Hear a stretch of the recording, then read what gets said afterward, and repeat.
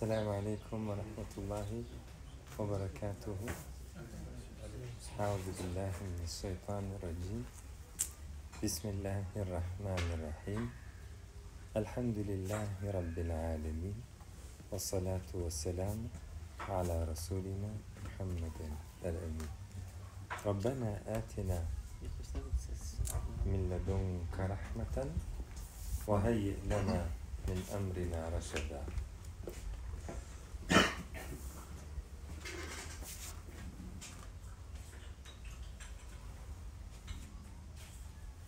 Ne yapıyoruz Ramazan hocam?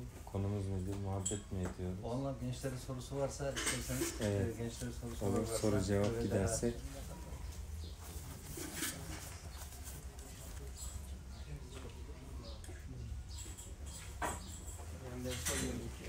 Buyurun efendim. Hocam siz hani bir ilim talebesi olarak üç öneride bulunuyorsunuz ya. Üç müydü, beş miydi? Hani olmazsa olmaz dediğiniz. Onda da hani bir yandan ya mühendis ya tıp ilmi hani ikisinden birisiyle veya işte farklı şeylerle de öğrensin, uğraşsın diyorsunuz. Varsa bir bardak da su alabilir mi? Eyvallah. Bunun şeyi hani onlarla uğraşsın, onlar da sadece olayı hani ne olduğunu bilmesi için mi yoksa yani hem ikisini de aynı anda yapabilir mi? İkisinde de fazla ileriye gidebilir mi? Yoksa hani birisini sadece biliyor olmak için seçmesini gerekiyor. Bir koltukta iki karpuz taşınır diyor. Evet. Yani şimdi eee Peygamber sallallahu aleyhi ve selleme baktığımız zaman onun eee, eğitim öğretim anlayışı bir defa eee, hayatın içerisinde bir eğitim öğretim anlayışı. Yani ne demek istiyorum? İnsanların işini, gücünü aksatmadan onlara eğitim veriyor. Dolayısıyla Hazreti Peygamber yokken ne yapıyordu bu insanlar? Medine'de diyelim ki. Kimi hurmayla uğraşıyordu, kimi ticaretle uğraşıyordu. Yani o gündelik işleri çeviriyorlardı. Ve bu işlerinde bir hepsinin bir ilmi var. Yani hurmacılık yapacaksanız da, esnaflık yapacaksanız da, deve bakacaksanız da değil mi? Hepsinin bir şeyi var. Ee, bunlar o gün için e, hem meslek alanları hem e, insanların maişetlerini sağladıkları geçim alanları. Resulullah bu kimseleri bu hayattaki akışlarından rolantiye almadan e, eğitime alıyor. Yani o deveyle uğraşacak olan çocuk babasından deveciliği öğrenecek. Yine deveyi öğreniyor. Çünkü orada maişetini e, sağlayacak. Yanı sıra namaza geliyor, Kur'an öğreniyor. Resulullah'ın ayetleri öğreniyor, merakı. Dolayısıyla e, bizim eğitim, öğretim anlayışımız hayata bakan yüzüyle insanların gerek meslek, gerek her türlü bilgiyi e, öğrendikleri süreçle birlikte işliyor. Yani oradan boşaltıp bir insanı tamam sen artık dini ilimlerdesin. Ee, senin ne deveyi öğrenmen gerekiyor, ne hurmayı öğrenmen gerekiyor, ne olabilir o günkü Medine'de, ne rehberliği, kılavuzluğu, dağı taşı, bayırı, yani e, topluma bu anlamda hiçbir mesleki faaliyetin olmayacak. Sen çünkü artık hoca olacaksın. Ee, böyle bir e, dini öğrenme sürecini e, bir mesleki alan haline dönüştürmüş değil Allah'ın Resulü. En yakınında kim var? Hazreti Ebu Bekir var mesela. E, Maişetini kendisi sağlayarak geçiniyor. Halife olduğunda bile maişetini ilk zamanlar yine kendisi sağlıyor. Hazreti Ömer diyor ki ya böyle olmaz. Sen artık şimdi yani profesyonel bir iş yapıyorsun. Yöneticilik yapıyorsun. Yöneticilik ayrı bir iş midir? Kabul. Yöneticilik ayrı bir iş. Ama ilim adamlığı ayrı bir iş midir? Düne kadar Hazreti Ebu Bekir ilim adamı mıydı? Öğreniyordu değil mi? Resulullah'ın Allah'tan getirdiğini en çok öğrenen kimselerden biri, en yakınında olanlardan biri. Ama buradan bir maişet sağladığına tanık değiliz. Değil mi? Dolayısıyla ilim öğrenme süreci müşterek sorumluluğumuz olduğu için bunu hayatımızın içerisinde yapmaya devam ediyoruz. Ee, bu şu demek hem e, ilim sahibiyiz, herkes tabi öğrenebildiği kadar. Çünkü herkesin kabı e, kendine göre enzele mines semai ma'en fesalet evdiyetun bi kaderiha. E, her vadi miktarınca topluyor. Orada problemimiz yok. İlim adamı olsa da öyle oluyor. Yani üniversite profesör olsa da bu bakıyorsun yine kabı darmış o kadar almış. Profesör olmuş ama. E, dolayısıyla e, biz ilim tahsil eden e, bu modeli uygulamak durumundayız. Bu modelde İslami ilimler Müslümanların ve müminlerin müşterek öğrenme e, sorumluluğu olmak durumunda ama herkesin yanı sıra e, bu adam ne yiyecek, ne içecek, neyle geçinecek ona bir meslek lazım, bir maişet lazım, bir beceri, bir hüner lazım. Toplumun işte kimi bir yerinde esnaf olacak, kimi bir yerinde kumaş tüccarı olacak, kimi bir yerinde ne bileyim binek hayvanları ile ilgilenecek, kimi bir yerinde efendim e, intikal işleri ne bileyim yani kazanabildiği bir mesleği e, toplumda icra edecek. İdeal olanın bu olduğunu düşünüyoruz. Resulullah'ın uyguladığı modelde böyle bir model. Ve bu şöyle faydaları oluyor. E, İslami bilgi e, toplumun içerisine katmanlarına homojen olarak yayılıyor. Çünkü esnaf da var hoca, efendim mühendis de var hoca, doktor da e, hoca, efendim e, esnaf da e, hoca. E, herkesin bir maişeti olmalı. Toplumun bütün e, şeyleriyle e, temas halinde oluyor İslami bilgi. Ama siz İslami bilgi öğrenmeyi profesyonel bir meslek haline dönüştürdüğünüzde o zaman yalıtıyorsunuz etrafını.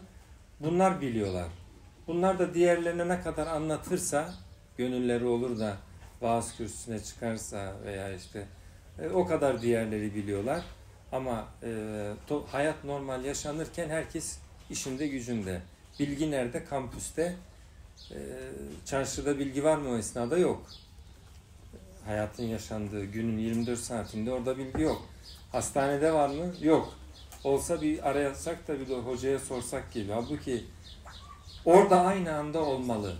Yani o hem doktor hem de tabii ki Kur'an'da biliyorum, sünnette biliyorum. Bunlar asgarilerimiz e, gibi olmalı. Ama e, ondan sonrasına insanlar enzele mines semai ma'en fesanet evdiyetun bi kaderiha. Herkes kendi kabınca daha fazla doldurabilir. Ki Resulullah'ın etrafındakiler de öyleydi. Yani hepsi sahabe-i kiram ama bazıları daha fazla kapları el verdi. Daha çok şeyler öğrendiler. E, bu modeli elbette savunuyorum ve bu model Resulullah zamanında böyleydi. Ondan sonra sahabe döneminde böyleydi. E, ta efendim gelelim 8. asır, 9. asır, 10. asır böyle devam ediyor. Ve buralarda biz e, İslam alimi dediklerimiz aynı zamanda bakmışsın tıp biliyorlar. Aynı zamanda bakmışsın e, matematik biliyorlar, astronomi biliyorlar. Hele hele e, 8, 9, 10. asırlarda öyle biliyorlar değil, önünü açıyorlar artık bilimin. Yani e, matematiğin kitabını yazıyorlar. Kitabul Cebr vel Mukabele gibi. Tıbbın kitabını yazıyorlar. El Kanun fit Tıbb gibi. Bunlar aynı zamanda hoca. Yani İbn Sina aynı zamanda İslami ilimleri bilen, Kur'an sünneti bilen bir hoca. Harazmi öyle aynı zamanda kitap sünneti bilen bir hoca. Kitabul Cebr vel Mukabele'nin iki sayfa girişi Hamdele Salvele ile gidiyor. Dolayısıyla bu model o zamanlarda çalışmış ve biz medeniyet e, yolculuğumuzda ipi göğüslemişiz. Artık dünyada öne geçmiş ve medeniyet çığırını açmaya başlamışız. İslam alimi tırnak içerisinde hem İslam'ı biliyor, hem tıbbı biliyor, hem fiziği bile biliyor, hem kimyayı bile biliyor. Yahut İslam'ı illaki biliyor. Bunlardan birine mesela tıpa yatkın İbn Sina gibi, e, Harezmi gibi matematiğe yatkın.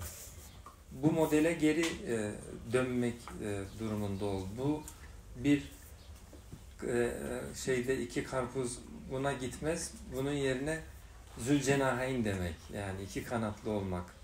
Hem bir yandan kulağa vahyin sesinde diğer yandan da gözü e, kainatın e, şeyinde, ayetlerinde ve bu ikisini birleştirdikçe daha hızlı yol alır. Daha hızlı keşiflerde bulunur. Cenab-ı Hakk'ın gösterdiği istikamette öyle ipuçları vardır ki daha yüksek nitelikli ilim yapar. Ki bugüne kadarki gelişmeler gösteriyor ki eğer e, bu yolculuğumuzu yarıda kesmeseydik bilimde sekülarizasyona, bilimde laikliğe diyelim yani. E, ki bu diğer sekülarizasyondan daha tehlikeli.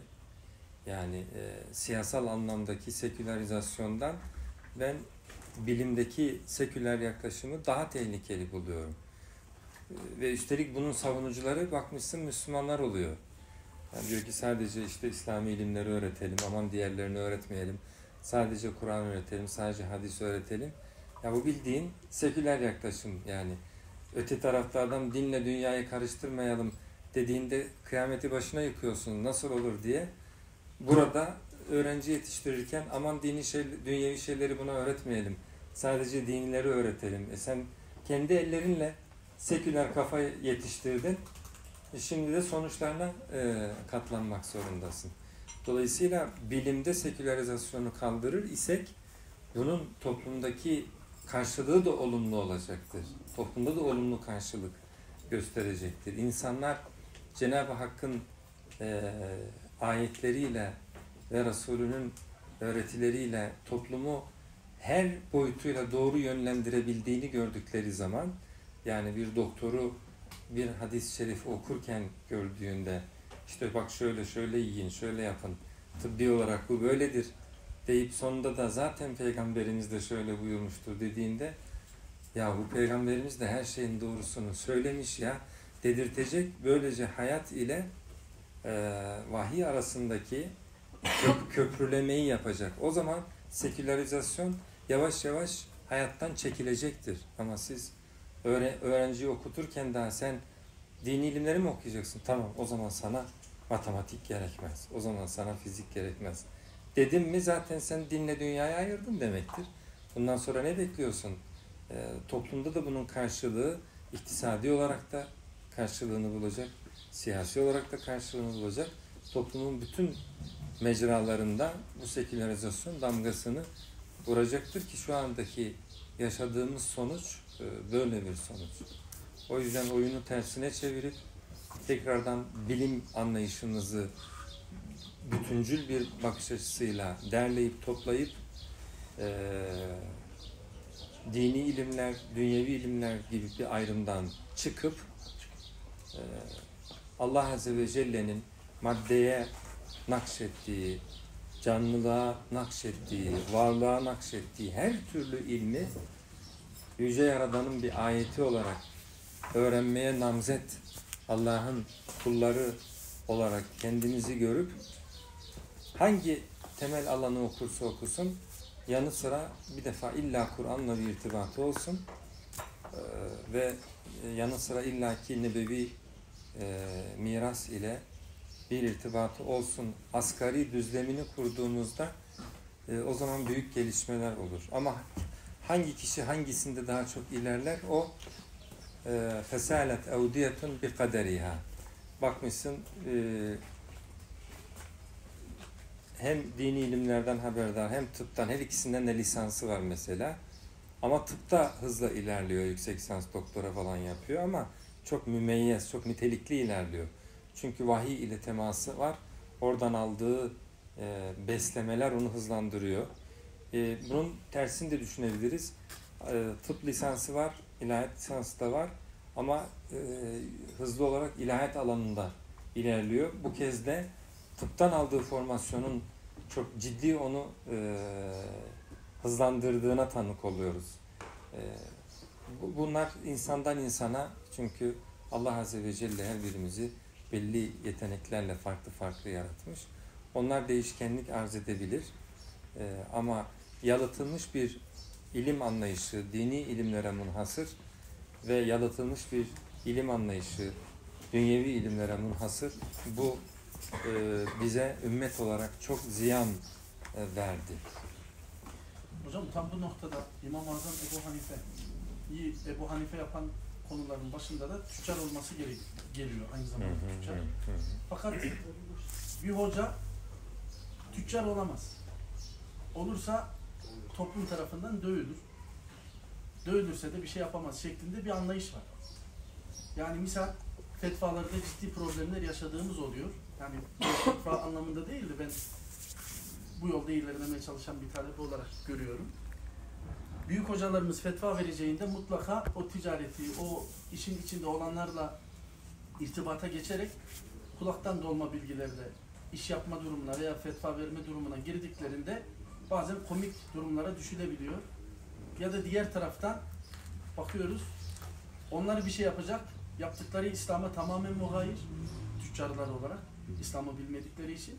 Diğer taraftan alimler İslam'ı biliyor fakat ticaretin nasıl cari olduğunu, aktığını bilemedikleri için mesela bir bitcoin meselesiyle ilgili tam doyurucu bir cevap halen verilmiş değil ama gençlerimiz her gün bitcoin'le şu an oynuyorlar. Bitcoin'le alışveriş yapıyorlar. Ama halen fetva, sipariş bir fetva gibi ortada duruyor hocam. Bu noktada ne yapabiliriz? İşte yani demin söylediğimiz iktisat tarafını çok iyi bilen ve aynı zamanda fıkıh tarafını çok iyi e, bilen ve işin içerisinde olan e, kimseler öyle bir altyapımız olsa e, fetvayı da daha hızlı çıkarırdık. E, ama e, öyle bir altyapımız olmadığı için işte ona buna sorarak ya nasıl hele bunu bize bir anlatın diyoruz. E, anlatanlardan anladığımız kadarıyla çünkü her anlatımda bir verim kaybı oluyor. Anladığımız kadarıyla ki az bir şey anlayabiliyoruz. Sonra ürküyoruz. Çok iyi bilmediğimiz için vereceğimiz bir kararın e, e, vahyin ara, aralığını, sınırlarını efendim e, delmesi ihtimali korkutuyor. E, dolayısıyla o zaman frene basıyoruz. Hele bir bekleyelim, biraz daha e, neticeyi görelim diye. Bu da eğer orada bir fırsat varsa onu kaçırmamıza yol açıyor. E, tut ki e, 10 yıl sonra dediniz ki tamam bu meşruymuş meğer ama e, atı alan Üsküdar'ı geçmiş. Adamlar sistemler kurmuş, yazılımlar yapmış. Sen bugün gençlerimize başlayabilirsiniz şimdi desen diyecek ki ben şimdi bu sahanın ancak amelesi olurum. Çünkü yazılımlar gerçekleşti, merkezi, gayrimerkezi sistemler kuruldu. Bunların üzerine bunlar şey bina ettiler, itibar bina ettiler, güvenilirlik bina ettiler. Alan boştu, kapattılar, e, fırsata dönüştürdüler. Ben şimdi bunlar ancak e, ya- yamacısı olurum. Eğer bu iş meşruiyet olacaktı baştan söyleseydiniz e, dediklerinde anlayacağız ki biz takoz olmuşuz o zaman. O bakımdan dünya artık hızlı bir rekabetin e, yürüdüğü bir dünya. Dolayısıyla e, fırsatların e, kaçırılmaması adına da o ilgili alan alanda ki e, e, hususları çok iyi bilen kimselerin e, ilim adamlarına bunu aktararak değil de interdisipliner bir kimlikle aynı zamanda yani hem burayı biliyor hem orayı biliyor ol- olurlarsa onlar e, daha hızlı kararı e, ürkmeden alabilirler. Eğer meşruiyete gidecekse 10 yıl sonra gecikmez. E, o gün der ki bu meşru. Ama yok zaten haramsa eğer başından itibaren haram olur. Kimse de böyle bir ikircikli durumda e, kalmaz da. Verdiğiniz bir iktisadi örnek. Bunun çok farklı hayat mecralarında çok farklı örnekleri var. Bazen de isabetsiz kararlar alınıyor. Konuyu tam bilmediğimiz için. E, Sonra da diyoruz ki ya bu kararı biz o zaman böyle sandığımız için aldık. E, Bunlar e, bizi geciktiren ve oyalayan yaklaşımlar. Misal EYT hocam. Son günlerde işte gündem oldu. EYT ile torunu yaşındaki bir adamın emekli olmasıyla kendi dönemindeki hocaların verdiği fetva üzerine hiçbir şekilde sigortaya vesaireye gitmeden ya da bir sicil kaydı yaptırmadan çalışan amcaların şu an homurdandıklarını falan hocalar yüzünden biz sigorta yaptırmadık, caiz değil dediler. Ama şu an benim torunum, torunum yaşındaki adamlar emekli oldu. Ben de elin eline ekmeğine bakıyorum. Bu vaziyetteyim. Ve bu da dinden sanki soğutmaya sebep bir yol teşkil ediyor gibi görünüyor. Şimdi o hocaların sigortası var mı? Hocaların çoğu ya mezarda hocam. Evet, öyle yani. evet. Yani konu özel örneklerden daha e, umumi, daha genel e, bir ilim anlayışı. Dolayısıyla gençlerimizi e, çift anadal yapmak hususunda eğer temel bilimler okuyorlarsa veya ilahiyat dışı bir alan okuyor ise e, okuduğu süre zarfında e, ilahiyat fakültesini de bitirmeye davet etmeliyiz, e, yüreklendirmeliyiz, teşvik etmeliyiz. Gerekirse bu anlamda burs ve benzeri imkanlarla bunu özendirmeliyiz. İlahiyat okuyorsa yanı sıra bir e, başka alanı yine e, çap yapmak suretiyle ki YÖK mevzuatı müsait buna e, buna da teşvik etmeliyiz. Böylece e, ilahiyat ilimlerinin diğer bilim alanlarına taşmasına e, imkan vermiş oluruz ve bu ileride e, güzel sonuçlar doğurur. Bu interdisipliner kimlik bize topluma e, ulaşmak için de kanallarımızı açar.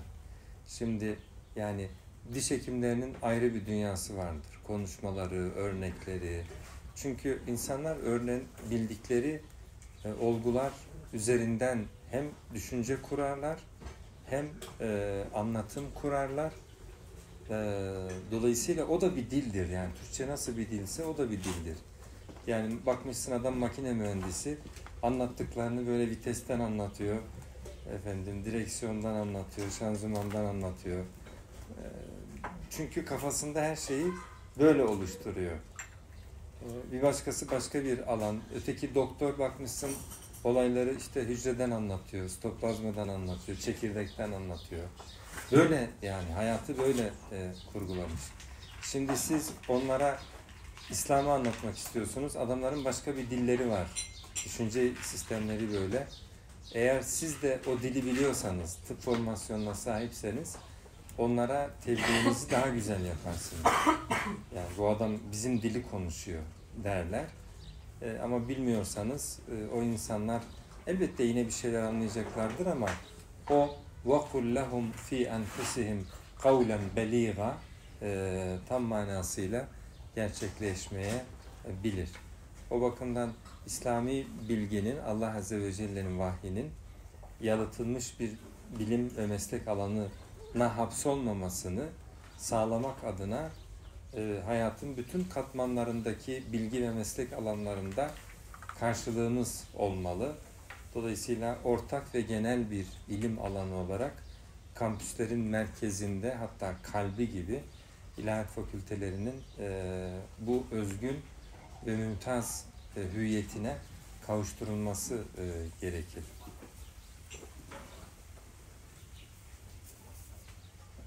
Buyurun hocam.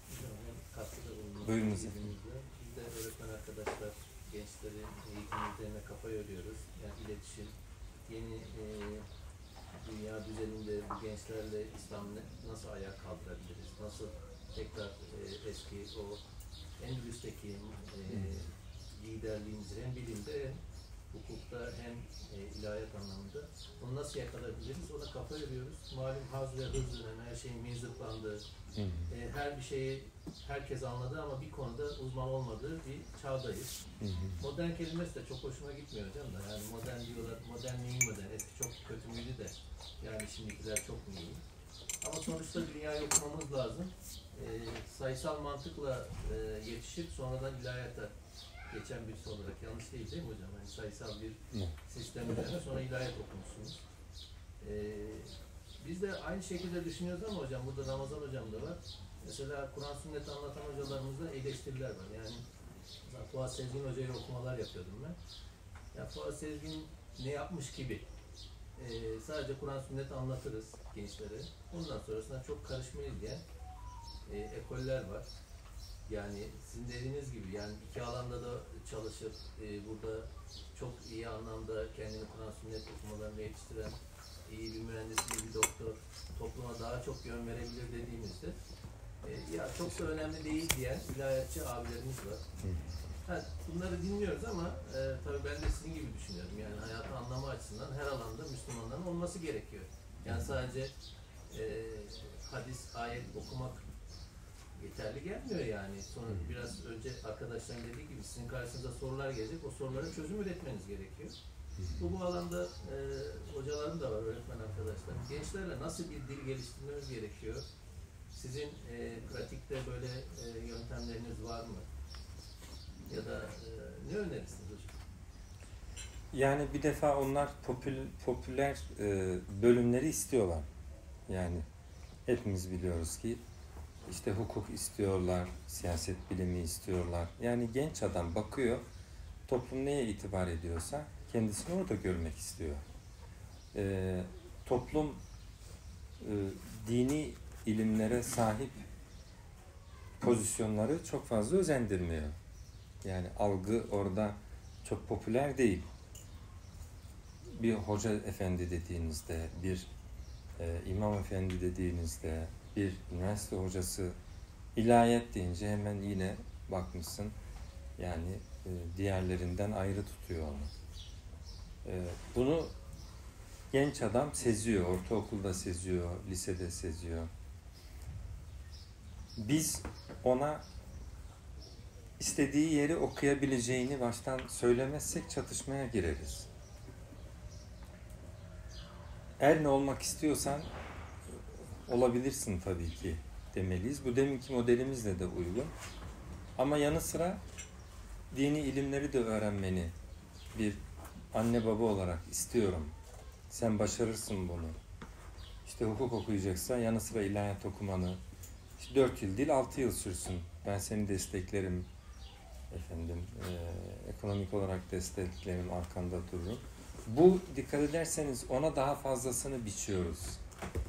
E, ondan çalıp kendimize yontmuyoruz. Hayır, senin düşündüğün ve istediğin şey değil, benim istediğim şeyi olacaksın. Çünkü sen benim bir mahsulümsün, malımsın. E, benim gibi olacaksın veya benim dediğim olacaksın.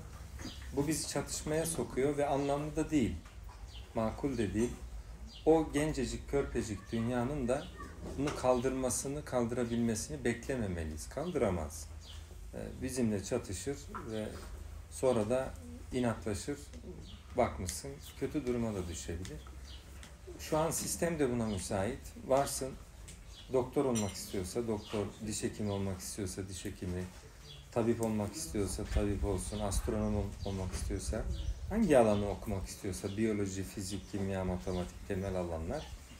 Ama biz yanı sıra ona ister örgün, ister uzaktan ki her ikisi de mümkün ilahiyat e, e, tahsili yapmak için. E, bunu ondan bekleyelim. O da bunu bize e, sağlasın. Hızlıca biz bu interdisipliner kimliğe kavuşalım. Hele hele e, beyinlerimizi kaybetmeyelim. Yani bugün Türkiye'de çok iyi e, liseler var. İmam Hatip olarak işte Beyoğlu, Kartal ve benzeri gibi. E, buralarda ki çok iyi beyinler liseden sonrasında artık ilahiyatla tamamıyla irtibatları kesiliyor. Ve o popüler alanlarda ilerliyorlar ve ilerliyorlar. Yani artık dini ilimlerle olan erişimleri de e, zayıflıyor veya kayboluyor. Biz o beyinleri de kaybetmiş oluyoruz. Onun yerine onlar yine gidecekleri yere gitsin ama biz onları e, teşvik edelim. Hem aileler olarak hem de kurumlar olarak. Aileler hakkından gelemeyebilir. Bir kurum bir e, üniversite öğrencisine ben sana şu kadar burs teklif ediyorum.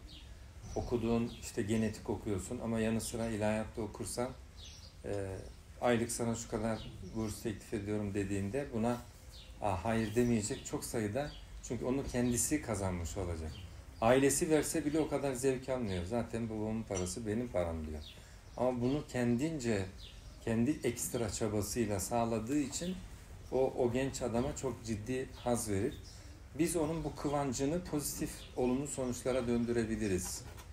Ee, Böylesi e, projeler ile interdisipliner kimlikleri küçük küçük dokunuş, dokunuşlarla da e, yeşertebiliriz. E, bunlar e, ileride bakmışsın e, çok e, güçlü çığırların önünü açabilirler. Çünkü geçmişte böyle oldu. Yani o 8-9. yüzyıllardaki e, bilimsel kimliğimiz e, dünyaya hala e, etki eden e, ön açmalara yol açtı. Bunu neye borçluyuz? Yani Harizmiye'nin, İbn Sina'nın, İbnül Heysem'in e, çok farklı zekaları vardı da o denli zeki adam bir daha bizim zürriyetimizden 10 asır boyunca çıkmadı mı? Değil.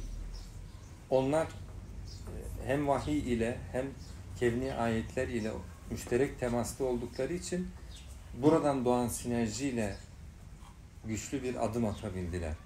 Aynı sinerjiyi, aynı interdisipliner kimliği oluşturursak inanıyorum ki yine e, ilimde yeni bir e, kat atacak potansiyele sahip e, ilmi şahsiyetler çıkarabileceğiz e, aramızda. Dolayısıyla e, sadece ilk etapta, birinci planda şu bizim kendi çok iyi okullarımızdan mezun olup da tamamına yakınının neredeyse e, ilahiyat dışı bilim alanlarına yönelenlerini şöyle en azından yarı yarıya hem o bilimlerde hem ilahiyatta müşterek tutabilsek ki onlar çok zeki insanlar. Yani dışarıdan ilahiyat okumak yani onlara çok zor olmasa gerek değil mi? Kolaylıkla aklından gelirler. Ee, Arapçaları var, İmam Hatip okumuşlar. Üstüne bir de ilahiyat okuyorlar. Ee, şöyle teşvikler de yapabiliriz. Ey genç sen bana atıyorum İngilizce yabancı dilden e, B seviyesi getirirsen bursuna şu kadar ilave yapacağım. Arapçadan getirirsen bir o kadar daha ilave yapacağım. Hafızlık belgesi getirirsen şu kadar daha ilave yapacağım. Şimdi artık çocukları bir yere e, doldurup sadece orada eğitim verme döneminden daha öz potansiyelleriyle e, donanıma kavuşma dönemine daha yakınız. Çünkü e, bilgisayar, bilgisayar ortamında yani e, kendi kendisini yetiştirebilir. Hedefi belli olsun yeter ki. Yani şu hafızı hallettim mi, şu belgeyi de aldım mı, benim işte bursum atıyorum e, 4 liraydı, 6 lira olacak veya 6 ise 9 lira olacak. Yani bunlar e, çok ciddi atılımlar ve o yaştaki insanları inanıyorum ki tahrik edecek, teşvik edecek güçtedir. Biz bunu bir bakıma organize e, edeceğiz. Dolayısıyla elimizde Arapçayı çok iyi bilen, İngilizceyi çok iyi bilen, hafız, hem İmam Hatip mezunu hem temel alanda Türkiye'deki çok yüksek bir branştan mezun hem de aynı zamanda ilahiyat mezunu. Yani şu anda bu, bu böylesi kaç tane var elimizde? Yani şu saydığım evsafı. Bazen bir yerde saydım mı hocam varsa sen getir işte kızımızı verelim falan. Yani çok fazla yok böyle ama bu böyle olabilecek potansiyelde yüzlercesini her sene boşa harcıyoruz. Yüzlercesini yani her sene. Ve o beyin göçleri bir daha geri dönmüyor. Kendi meslek alanları içerisinde körelip kayboluyorlar. Yani halbuki biz onlardan e, öncüller yetiştirebilirdik çünkü yüksek potansiyelleri var. E, buna inanıyorum ve tanık olarak da şahit olarak da e, ümmetin geçmişte yaşadığı o medeniyet ipini göğüslediği yıllardaki e, altın çağı e, bilimdeki altın çağımızı örnek gösteriyorum. E, bence oraya geri dönmeliyiz. Bilimde sekülarizasyondan hızlıca uzaklaşmalıyız. Artık hoca dediğimizde bizim açımızdan her türlü hocadır. Zaten öyledir değil mi? Biz üniversitede tıp hocasına da hoca deriz. E, işte oraya geri dönmeliyiz. Yani hocam şimdi hocamın sorusuyla şimdi sizin söyledikleriniz kurumsal yani böyle üst perdede yapılacak işler de. Hani bizim bize düşen yani öğretmen olarak şimdi biz 9-10'da çocuğu bulabiliyoruz ama lisedeyiz mesela 11 oldu mu tamam artık o şey başlıyor sınav maratonu başlıyor. Mesela yaz kampı olacak şimdi inşallah. O Harmancık'ta gördüğünüz yerde. Ee, 8'den 9'a geçen ve 9'dan 10'a geçen diyoruz en fazla deniyor yani. Hocam da öyle bir şeyde bulundu. Biz yani şu an çıkmazın içindeyiz. Gidişatı takip ediyorsunuz siz de. Başka olumsuz şeyler böyle bir çığ gibi üstümüze geliyor. Onlar biraz daha hani kurumsal üst seviye şeyler veya sizin düşüneceğiniz, sizin Diyanet'e teklif edeceğiniz veya işte Milli Eğitim Bakanlığı'na. Ama biz mesela buradayız. Okulumuz var.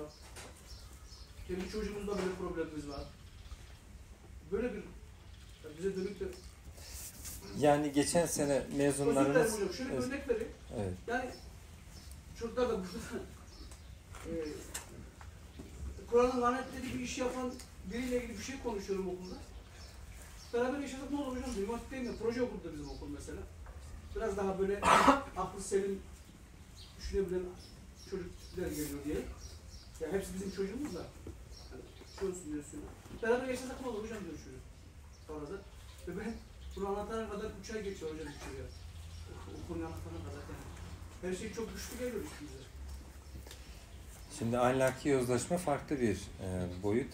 E, biz eğitim ve öğretim, özellikle öğretim bahsini e, ele alıyoruz. Şimdi A lisesinin öğrencileri diyelim ki vaka o ki çoğunlukla kazanabildikleri takdirde e, popüler meslek alanlarına yöneliyorlar. Değil mi? Ben de okulda öğretmenim. E, öğrencime diyorum ki tamam evladım sen şu meslek alanına gitmek istiyorsun, başarılısın da e, denemeler onu gösteriyor. Sana tavsiyem o meslek alanına gittiğinde yani o bilim alanını okumaya başladığında ÇAP diye bir şey var. Çift Anadal Programı. Üniversitende bunu değerlendir. Sen yanı sıra e, sen bir imam hatip mezunusun. Yanı sıra e, ilahiyat da oku. Çünkü artık dönem tek bir fakülte kimliği yetmiyor. E, dolayısıyla ikinci bir formasyona ihtiyaç var hele hele e, tamam o gittiğin alanda iyi bir doktor, iyi bir avukat, iyi bir e, neyse siyasetçi olduğun halde bile yanı sıra bir de ilahiyat diploman olursa bu sana e, olumlu katkıları olur. Bulunduğun e, alanda toplumu irşad etmeye, en basitinden kendi dini hayatını, dünyanı ve ukbanı doğru yönetmeye e, lazım olur. Bu bir gereklilik. Yani bu bilinç ile biz uğurlasak, bu 10 tane öğrencimizden bir tanesi bunu hatırda tutup, öyle demeyin, öğretmenlerin çok ciddi tesiri oluyor. Yani çocuğun elinden bir şeyi almaya pek de başarılı olamayabiliriz. Ama ekstra bir şey koymaya eee, daha kolay muvaffak olabiliriz. En azından bilsin. Yani ben üniversitelerde çoğu öğrencimizin çapı bildiğini sanmıyorum. Yani söylediğiniz zaman o nasıl bir şey diyor.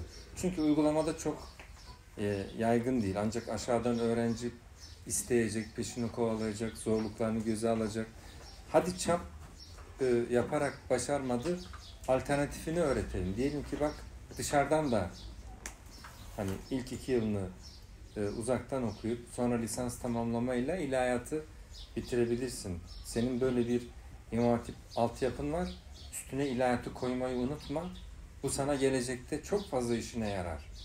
Yani iyi bir doktor olsan da yarar, iyi bir avukat olsan da yarar, iyi bir, bir o yarar yani.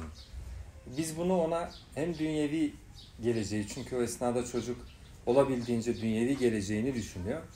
Hem de uhrevi geleceğinde yararı olduğuna, olacağına ebeveyn olarak da inandırsak, e, öğretmen olarak da inandırsak e, bu ciddi bir fark oluşturacaktır. Bunun neticesini e, görebiliriz. Sadece hoca öğretmenlerin teşviki bile e, ben falanca öğretmenden duydum şöyle diyor ben öyle yapacağım diyenler çıkacaktır. E, hadi hiç çıkmasın biz sonuç odaklı değiliz. Doğru olduğunun bu olduğuna kanaat ediyor ve bu uğurda dilimiz döndüğünce bir şeyler paylaşıyorsak biz muradımıza nail olacağız. Hiçbir şey yapmamaktansa. E, bir de tabii yukarıdan yukarıdan diyorsunuz e, e, kamuoyu olmadan yukarıdan da bir şey olmuyor. Dolayısıyla bir düşüncenin önce kamuoyu tarafından kabullenilmesi, anlaşılması, karşılık bulması, çoğaltılması ve e, sonradan e, üst politikalarda e, karşılık bulması söz konusu olabilir. E, biz kolay bir şeyden bahsetmiyoruz. Neredeyse 10 asırdır devam eden bilimdeki bir sekülarizasyondan bahsediyoruz. e, bunun ciddi karşı direnci var. Ya ne diyorsun sen diyecek çokları var yani. Ne demek hem e, adam tıp okuyacak hem de ilahiyat okuyacak. Sen ya tıpı bilmiyorsun ya da ilahiyatı bilmiyorsun diyecek çokları çıkar. Ama e, biz bütün herkesi hem tıp hem ilahiyat yapmıyoruz dikkat ederseniz. Yani e, bu nitelikte birileri, koşabilenler, potansiyeli olanlar, ön açacak olanlar, dönüp Hicri 7-8'e baktığımız zaman bile 5-6 isimden söz ettiğimizde değil mi? 5-6 isim ama dünyayı değiştiriyor. Değil mi? Yani öyle e, dolayısıyla o, o mecrada e, bir alan açmak, onlara imkan sağlamak, bunların nispeti yüzde beşte de kalsa ben yüzde ondan aşağı olacağını düşünmüyorum. E, bu toplumda ciddi bir etki oluşturacaktır. Yani bir tıp e, diplomasına sahip e, bir kimsenin ağzından bu toplumun ayeti kerimeleri düzgünce duyması e, apayrı bir şeydir. Yani biz, biz gençlerimize tebliğ yapmaya çalışıyoruz. E, gençlerimizin bizi gördüğü aralık işte hoca, imam hocası, din kültürü hocası falan o seni bitirmiş zaten gözünde. Din kültürü hocamız diyor bizim diyor. Matematik hocasına ayrı bir pay veriyor. O ondan matematik öğreniyor. Daha doğrusunu o bilir diye düşünüyor. Ee, biz dolayısıyla bu kırılganlığı ortadan kaldırıp e, hem matematiği bilebilen hem dini bilen hem tıbbı bilen hem dini bilebilen hem e, diğer alanları bilen ve bu kimlikle e, konuşan, televizyona çıkan, öğrencilerle buluşan e, kimseler bu bir anlayış. O sekülerizasyonu, o yıllar yıl devam eden sekülerizasyonu yıktığımızda şeyi paradigmayı değiştirmiş olabileceğiz. Şu anda mevcut paradigmanın esareti altında olduğumuz için nasıl bir fark oluşturur da tam kestiremiyoruz. Ne olacak ki falan e, gibi geliyor. Zaman kaybı. Hem ilahiyat okuyacak. Yazık değil mi o çocuğa? Hem ilahiyat okuyacak hem biyoloji okuyacak. Ne işine yarayacak? Çokları diyor ki bir yandan biyoloji okudu, bir yandan ilahiyat okudu. Ne işine yarar? Allah Bambaşka bir şey e, olur. O, o bambaşka bir biyolog olur. O Kur'an'a nüfuz edebilen, Kur'an'ı bilebilen bir kimsenin biyoloji alanındaki çalışmaları e, böyle hızlı adımlarla olacaktır. Çünkü vahyin irşadı e, ve yol göstermesi e, ciddi etkiler oluşturur. Geçmişte bunun yaşanmış örneği var en azından. Elimizde geçmişte bunun yaşanmış örneği var. E, bunu gelecekte de yeniden başarabiliriz. Ve bu sadece bilim vesaire değil, aynı zamanda teknolojiye de yansır. Ne kadar çok ileri bilim yapıyorsanız o kadar da hızlı teknoloji geliştirebilirsiniz. Bu sizin savunma sanayinizi bambaşka kılar, iktisadi potansiyelinizi çünkü yeni patent ürünleri, ürünleri üretme kapasitenizi artırır. Bir bakmışsın, nereden nereye gelmişim dersin.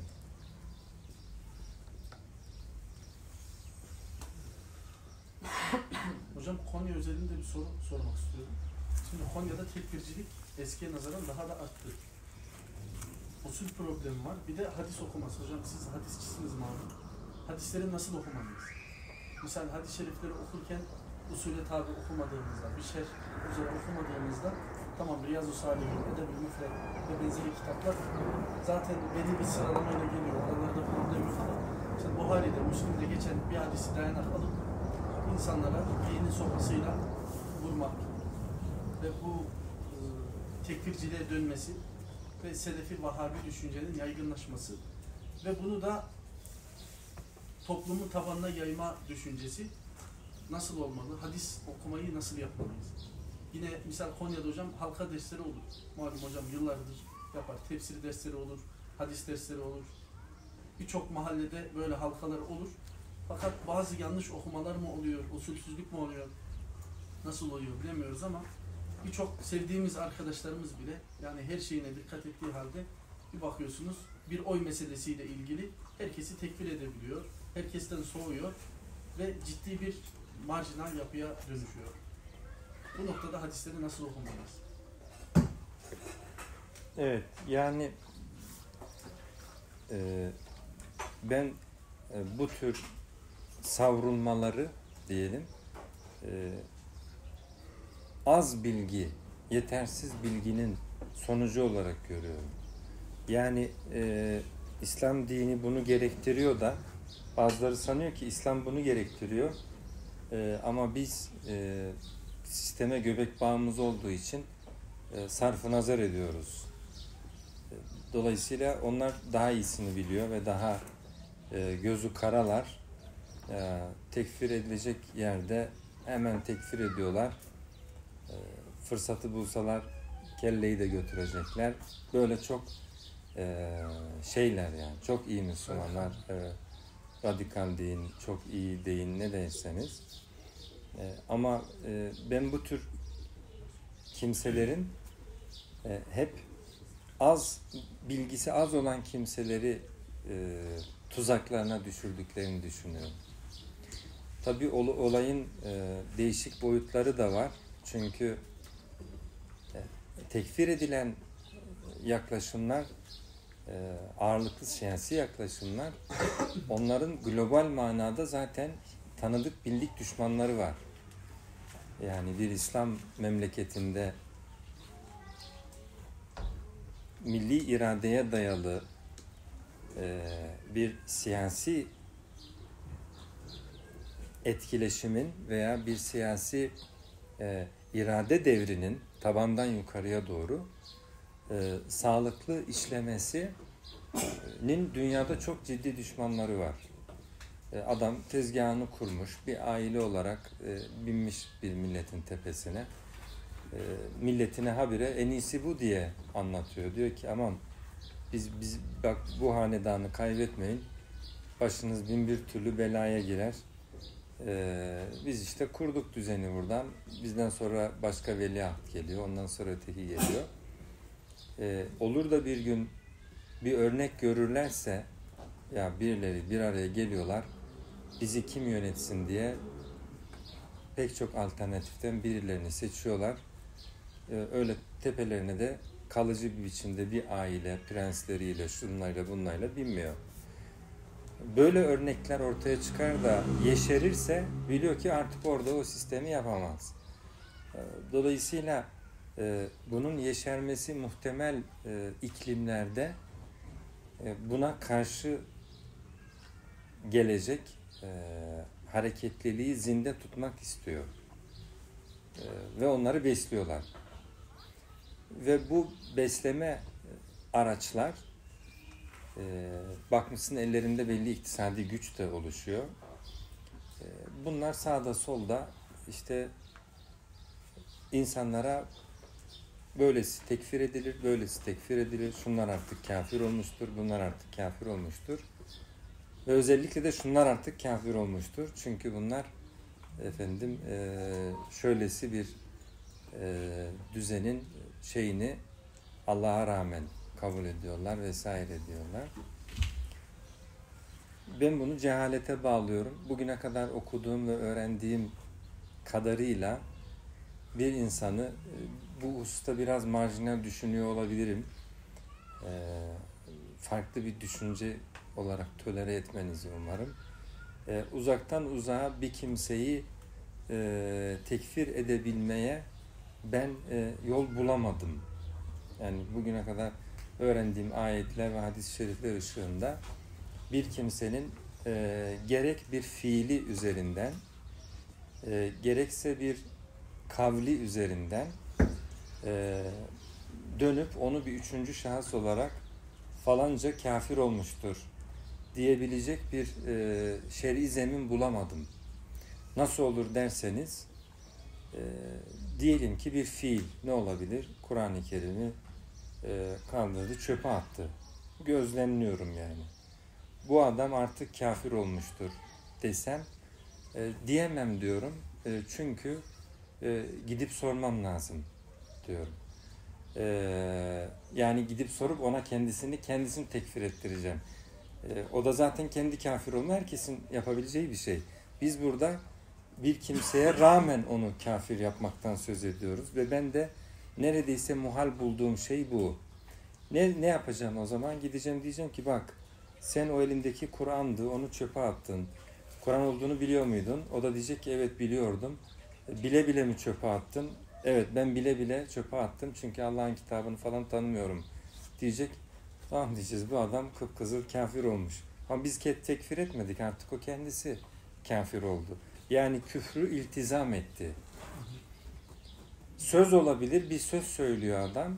Ee, bu söz e, küfrü gerektiren bir söz. Ama e, onun kendisinin bununla küfrü kastedip etmediğini bilmediğim için yine ona gidiyorum. Diyorum ki sen böyle bir söz söyledin. Bu sözünle yani kafir olmayı mı istedin diye söylüyorum. O da evet ben bu sözü kafir olmak için söyledim. Tam da bu anladığın şekilde diyor. Bu zaten yine kendisi küfrünü sahiplenmiş, iltizam etmiş oldu. Diğer seçenek yo ben o kitap olduğunu bilmiyordum ya derse veya ya ben öyle demek istemedim derse e, gördüğünüz gibi her söz ve fiilden kişi çıkabiliyor. Yani kafir olmaktan e, çıkabiliyor.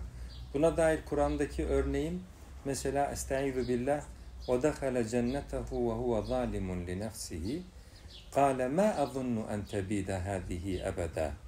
Bahçesine girdi ve dedi ki bu bahçem var ya bir de çok böbürleniyor. E, bu bahçem asla zayi olmayacaktır. Yani asla bitmez. Hiç kimse ona bir şey yapamaz. Bir meydan okuma var gibi. Allah'ın meşiyetini de sanki inkar ediyor. Ve devamında daha beter bir şey söylüyor.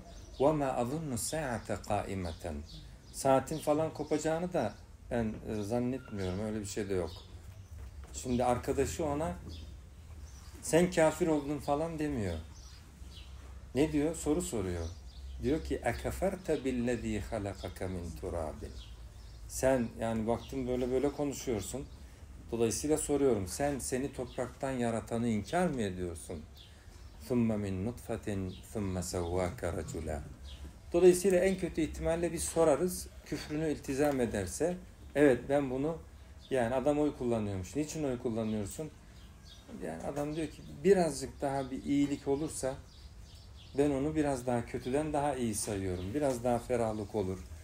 Biraz daha Allah Azze ve Celle'nin 10 tane emrinin diyelim ki 8'i ihmal ediliyor. Bir tane daha yerine getirir de 7'si 7'ye düşerse bir öncekinden bana daha hoş gelir. O yüzden yani niyetim bununla bunu yapıyorum. Ama biz onun adına niyet koyup korup sen bunu yapmakla Cenab-ı Hakk'ın buyruklarını ve hükümleri reddettiğini hmm, sen böyle düşündüğün için böyle yapıyorsun. Dolayısıyla adamın düşüncesini ben kuruyorum. Ona onaylatmıyorum da lütfedip zahmet edip hani sen de hakikaten böyle mi düşünüyorsun diye. Sonra da onu uzaktan uzağa ben tekfir ediyorum. Bu kendin çalıp kendin oynuyorsun demek. Hani adam mecliste yemin okuyor diye yazmış altına tekfir ediyorum. Arkadaş da demiş ki ya sen Twitter'dasın. Twitter sana girişte öyle bir sözleşme imzalatıyor ki yani orayı okusan bırak tekfiri cehennemin dibine gidersin. Yani LYBT'sinden tut bilmem nesine kadar. Orayı tıklayıp buraya kadar gelmişsin. Kafir olmuyorsun. Sorsan diyecek ki ben umursamadım. Yani çok da ciddiye almadım. İyi de bu adamın niye ciddiye aldığını sen kendince karar veriyorsun ki? Madem ki e, innemel a'malu bin niyat. Madem ki la yuahidukumullahu bil lagwi fi eymanikum velakin yuahidukum bima kesebet kulubukum. Hatib bin Belta'a ne yaptı? Ameli baktığınızda hıyanet. Ama Resulullah sordu ona bunu niçin yaptın? Deseydik ya Resulallah sana hıyanet için yaptım. Tamam zaten küfrünü iltizam etmiş olacaktı. E, o bakımdan ben yani e, bugüne kadar tekfir teolojisine dair duyduğum e, şeylere böyle e, gönül kulağıyla kulak verdim. Seviyorum da aykırı fikirleri sahiplenmeyi. Bakıyorum yani elle tutulu bir tarafı yok. Ceviz kabuğunu dolduracak kadar bile değil. Ve ben o söyleyenlerin de kendilerinin kani olduklarına inanmıyorum. Bunu yani bir insan bu kadar absürt bir şeye ikna olamaz diye düşünüyorum. Ee, o zaman da aklıma yani suizandan gayrı bir seçenek gelmiyor. Bu bir platform dünya çapında ve bunlar e, halkın kendi iradesini sahiplenebileceği özellikle İslam ümmeti içerisinde halkın kendi iradesini sahiplenebileceği süreçleri tıkamak isteyen çünkü kendileri öyle bir e, milletin iradesini gasp etmiş, işgal etmiş. Yaşıyorlar adamlar. Dolayısıyla Mursi görse tepesine biniyor, falancayı görse tepesine biniyor. İstiyor ki hiçbir yerde e, halk kendi ipini kendi eline alamasın. E, bizimkiler de bize bakıp desin ki çok şükür ki bizim başımızda bilmem Tellioğulları var. Ne güzel yaşıyoruz diye mutlu olsunlar. Benim e, kanaatim bu yöndedir. Buyurun efendim. Konuyla alakalı olarak bunların bir kısmı dediğiniz gibi cahillikten tabi olduğu gibi bir kısmı da alel yani Allah alem fitne için yapıyor bunu. Muhtemel ki. Bunların haricilerden kalma sarıldıkları birkaç ayet var. Bu ayetlerden hocam kim Allah'ın indirdiğiyle hükmetmezse argümanlarının cevabı ne olur?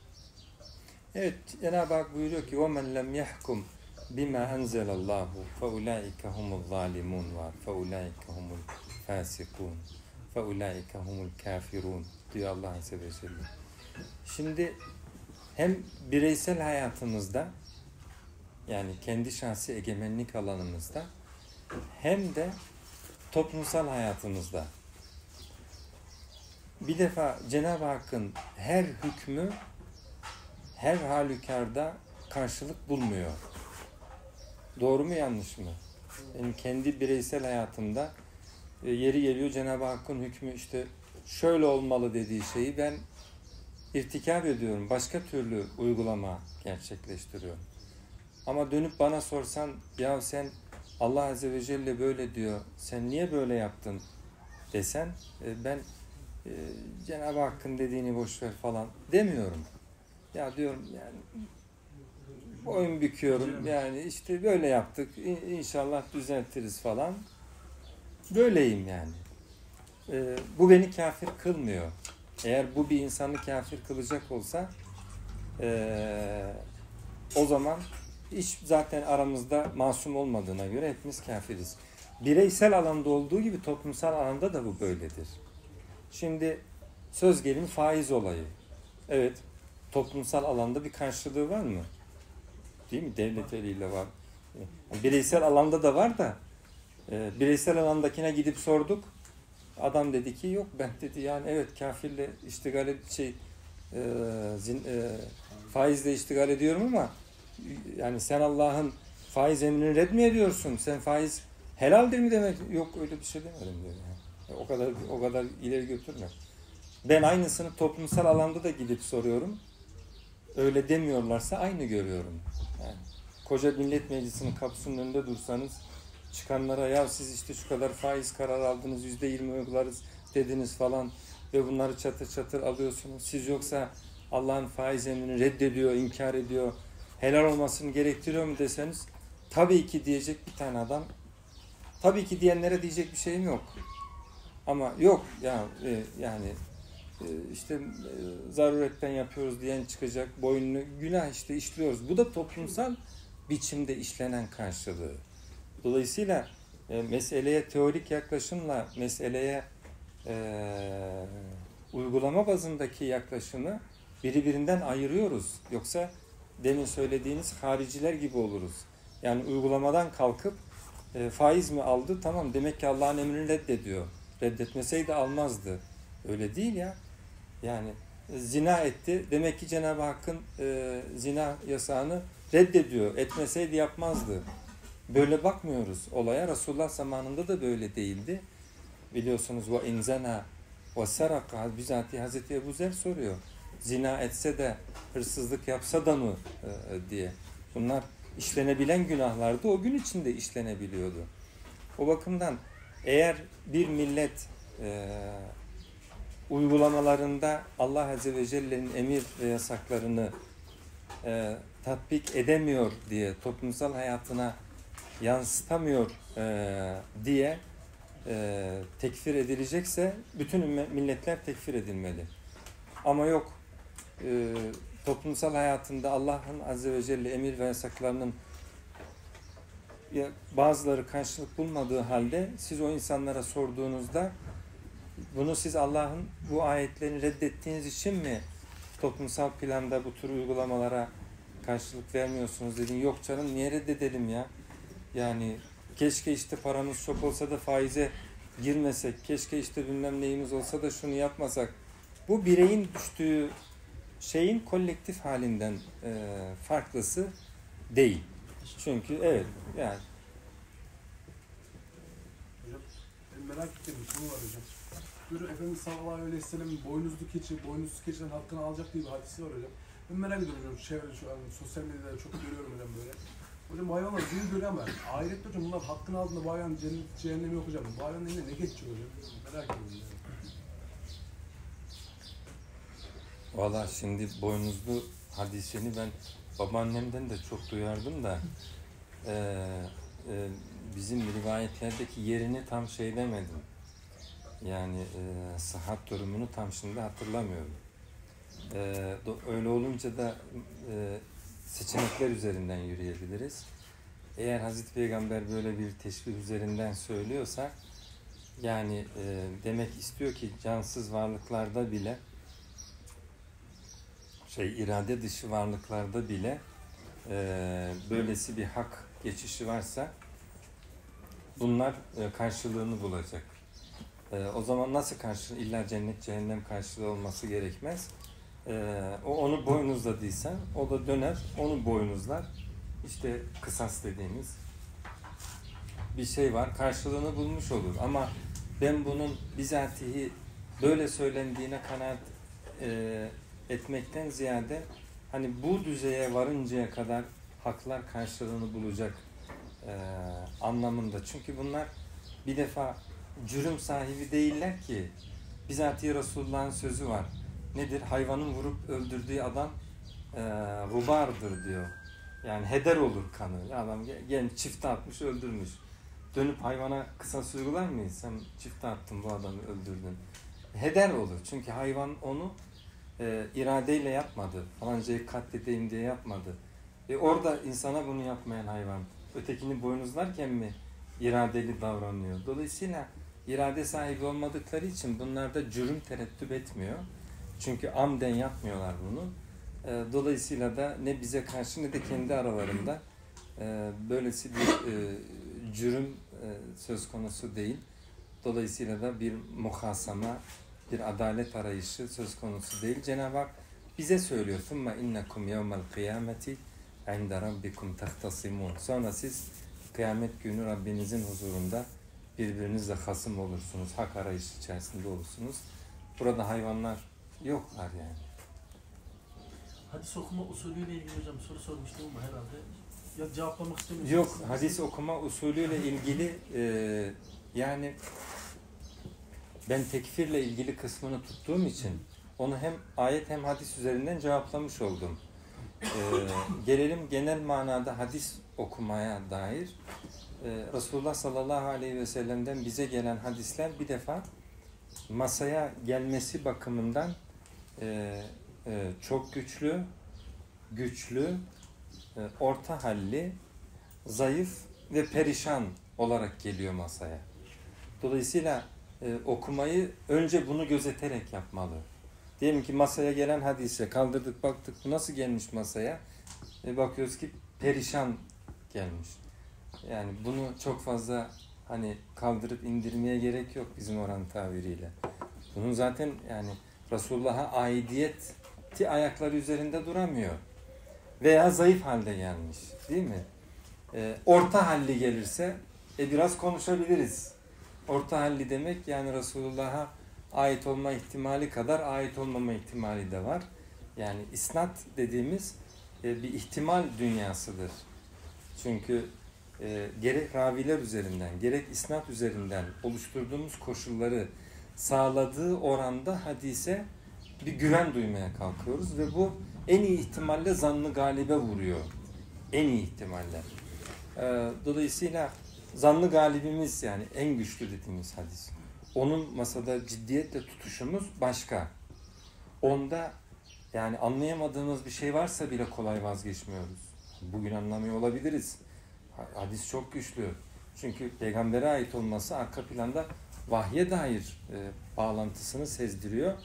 Yani anlamadığımızda bile onu masada hala tutup kolay vazgeçemediğimiz. Niye?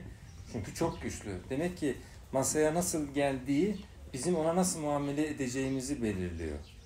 Ee, orta halli gelirse ihtiyatla yaklaşabiliyoruz. Bazen ha var ha yok gibi yapabiliyoruz.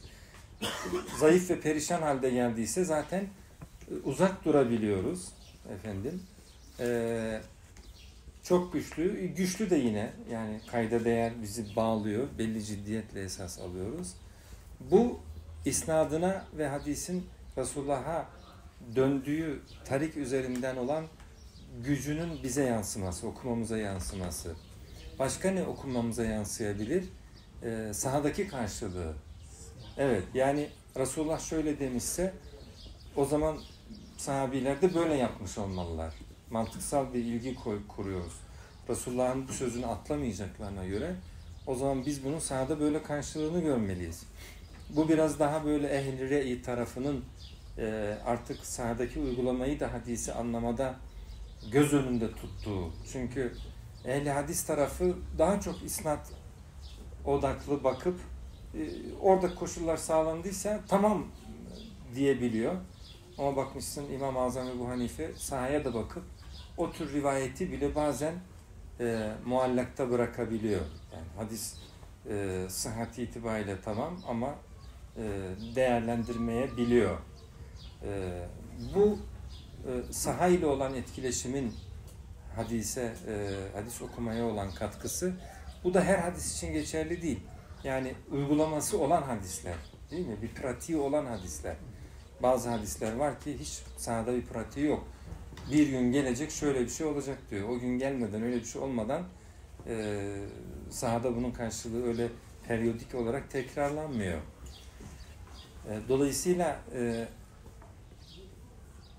saha ile olan etkileşimi e, dedik. Bir başka husus hadis okumasında belki çok temel bir e, husus belki ilk başta zikretmeliydik. E, bize rivayetin e, geldiği lafızların ister doğrudan Hazreti Peygamber'in ağzından olsun yani Hazreti Peygamber dedi ki şeklinde ister e, anlatanın anlattığı şekilde olsun.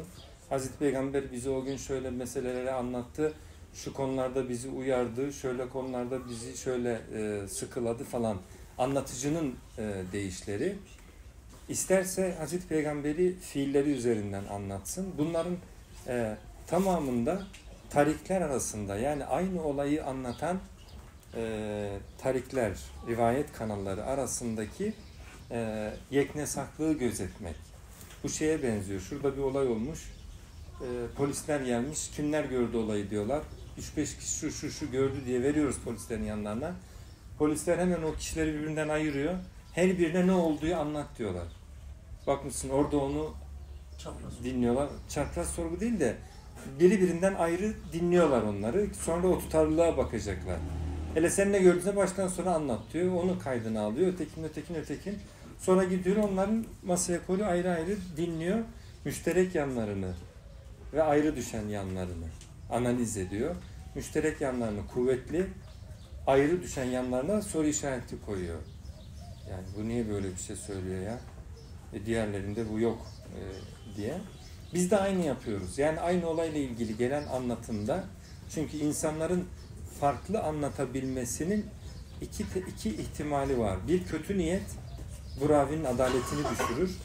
İki e, vehim yani adam kötü niyetli değil ama öyle hatırlıyor. Olabilir değil mi? Hafızası onu yanıltıyor diyoruz bazen. Bu böyle bir ihtimal olabildiği için e, o yüzden akranları üzerinden doğrulamayı e, gözetiyoruz. Bu hadis ilminde olan bir şey. E, bu yaklaşım da önemli. Böyle bir eser. O yüzden bir rivayetle ilgili akademik çalışma yapanlar o rivayetin bütün tariklerini toplayıp o tariklerin müşterek yanlarını ortaya koyup farklı düşen yanlarını da e, daha ihtiyatlı ele almayı seçiyorlar ki bu çok makul. Bir de doğrudan Resulullah'ın ağzından aktaran işte Resulullah şöyle şöyle dedi diyenlerde bu lafzın da bakmışsın bu tarikte farklı, bu tarikte farklı, bu tarikte farklı. Özellikle uzun metinlerde değil mi? Böyle yarım sayfayı bulan metinde 3-5 satırı bulanlarda bile birbirinden e, farklı lafızlar görüyoruz. Mana aynı veya yakın. Var ilaveler, eksiklikler. Aynı temaya e, hizmet ediyor ama anlatım farklı. Ben bunu neye benzetiyorum? Ben burada bir fıkra anlatıyorum. Çok hoşunuza gidiyor. Evde gidip siz de anlatıyorsunuz. Aynı fıkrayı anlattınız. Doğru mu? Doğru. Yazıya düşürsek benim anlattığımın yazısıyla sizin anlattığınızın yazısı ne cümle sayısı tutar, ne e, kelimelerin sırası, ardışıklığı. Buna biz mana ile rivayet diyoruz. Sahabe-i kiram ağırlıklı olarak mana ile rivayette bulunuyor. Mana ile rivayet olunca bu kez lafızlara çok fazla itimat edemeyebiliyoruz. Çünkü lafzın Resulullah'ın ağzından düştüğü şekliyle olmama ihtimali var. Hele hele eş, güdü, e, eş e, tariklerin bize verdiği lafızlar birbirlerinden farklıysa o zaman neredeyse eminiz. Bu, Resulullah bu lafızların hiçbiriyle bu işi söylemedi. Böyle bir konu anlattı ama e, bu lafızlarla değil. Çünkü her biri ayrı lafızlarla bize anlatıyor. Ne zaman Resulullah'ın ağzından da böyle döküldüğüne yaklaşırız? Bütün tariklerde lafızlar da birbirine artık çok yakın olur, çok benzer olur. Anlarız ki Resulullah da bu lafızlarla bunu söyledi. Kısa hadislerde bunun örneği var. Mesela men hamel aleyne silah feleyse minna. Bize silah ile üzerimize gelen hamel. Bu hadisin bile birkaç varyantı var. Men şeher aleyne silah var. Ondan sonra men ca'e aleyna bis silah. Orada bile lafızlar değişebiliyor ama anlıyoruz ki bu kalıpta en azından kalıbı belli. Bunu da hesaba kattığımız e, okuma, okumada hesaba katıyoruz ki e, kalkıp oradan bir lafız seçip üzerine bir dünya kurmayalım. Sonra bakıyorsun diğer tariklerin hiçbirinde o senin üzerine dünya kurduğun lafız yok. E, bunların hepsi bize hadisi ele almada sadece esneklik ve ihtiyat getiriyor. Yoksa Resulullah'ın ağzından duyduğumuz bir ifadeyi itibar etme işimiz, onu yani gevşek ele alışımız gibi bir şey olarak bunlar yorumlanamaz. O zaman hadis ilmiyle zıt düşeriz. Hadis ilmi bu ihtiyatı üreten, kendisi bu ihtiyatı üreten bir ilimdir. Diyeceksiniz niye bu ihtiyatı üretmiş? Çünkü öyle başkalarının sözünü de Resulullah'ın ağzına yapıştırmak da iyi bir şey değil. Yani her Resulullah şöyle dedi diyeni, yanılanını da, kötü niyetlisini de biz baş tacı edersek bu da Resulullah'a zulüm olur. O yüzden iki kanadı da muhaddisin çalışmalı. Resulullah'a ait olanı kurtarma arzusu, Resulullah'a ait olmayandan da kurtulma arzusu. Bu muhaddisin iki refleksi. Biri ileri geçerse tesahül olur, diğeri ileri geçerse teşeddüt olur. Dengeli olmalı. Ben bunu şeye benzetiyorum. Yani Hazreti Peygamber'in hanesini düşünün. Onun hanesinde ona ait olan ne varsa çok güzel, baş tacı. Şuraya bir tane işte saat koymuş, şu girişe bir tane su şeyi koymuş falan. Bunları koruyalım. Ama bir başkası getirip oraya bir şey bırakmış ve peygamberden zannedilsin istiyor. Ondan da o kadar çok kurtulalım. Çünkü Resulullah'a ait olmayan bir şeyin Resulullah'a ait olması ihtimali de çok dehşet vericidir. Hatta bazen bu ikisini yarıştırıyorum hayalimde. Yani öyle bir an gelse ki Resulullah'a ait olan bir şeyi kurtarma arzusu mu? Yoksa ait olmayan bir şeyden kurtulma arzusu mu? Bu ikisi yarışsa hangisini diğerine seçerim deyince de aklıma kanserli hücreleri vücuttan alan doktor geliyor. Şimdi doktor ne yapar? Kanseri almak ister. Kurtulması gerekiyor ondan. Ama vücuda ait sağlıklı bir şeyi de almamak istiyor. Fakat öyle bir yere geldi ki şimdi orada yani e, en son şöyle diyor. Biraz ete girelim sağlıklı tarafa. Yeter ki vücutta kanserli hücre kalmasın. Bu neyi tercih etti? Kurtulmayı kurtarmaya tercih etti. Yani vücuda ait olan bir şeyi kurtarmaktansa ait olmayandan kurtulmayı yeğledi. E, çünkü Resulullah'a ait olan bir şeyin kaybı daha az bir felakettir. Resulullah'a ait olmayan bir şeyin Resulullah'ın üzerinde kalması felaketinden. ve ben ben de bunu benimsiyorum. Yani çok da öyle uç uca gelirse o doktor şeyiyle biraz ete girip e, ait olmayandan e, kurtulmayı e, göze almayı arada birkaç ait olma ihtimali olan şeyi kaybetme pahasına. Çünkü Resulullah'ın o mümtaz portresi, o üsve-i hasenesi bir başkasının e, e, kiriyle, gölgesiyle gölgelenmemeli. Bu yaklaşım nere? Kitapta geçiyor ya hadis diye altında var olan her şeyi kolayca Resulullah'a nispet eden ve bundan zevk alan evet evet Resulullah'a ait olma ihtimali çok yok ama zayıf ama biz onları da yani bu adam yani Resulullah birileri yamıyormuş varsın yamasın e, tesahülü içerisinde ki e, bu çok korkunç bir şey. Bu Resulullah'ın o mümtaz e, pak şahsiyetini e, kirletmeyi kolay göze alabilme durumu e, bu asla e, tenezzül edeceğimiz bir şey olmamalı. Çünkü Resulullah'tan ağzından da tam da bu şekilde duyduğumuzdan en çok emin olduğumuz hadis hangisi? Men kezebe aleyye muteammiden felyetebevve mak'adahu minen nar. Muhaddisler bir tek bu hadisten çok eminler ki Resulullah bunu böyle söyledi. Çünkü bütün tarikleriyle neredeyse hep böyle geliyor. Men kezebe aleyye muteammiden felyetebevve mak'adahu minen nar. Benim adıma göz göre göre yalan konuşan ateşteki yerine şimdiden hazırlansın. Konya'da hadisin zayıfı şişmanı olmaz diyen bir grup var hocam. Delikanlar, hocam fazla yormayın. Sabahtan beri konuşuyor. Ee, geri kalan şeyler hocamın derslerini dinlersiniz inşallah. Saat 6'da da ticaret odasında inşallah oraya gelir. Hocam sizleri savunacak, yetişkinleri eleştirecek. Böyle düşünüyorum. ne olacak bu yetişkinlerin hali? Peki cümleten selamun aleyküm ve rahmetullahi teala ve berekatuhu.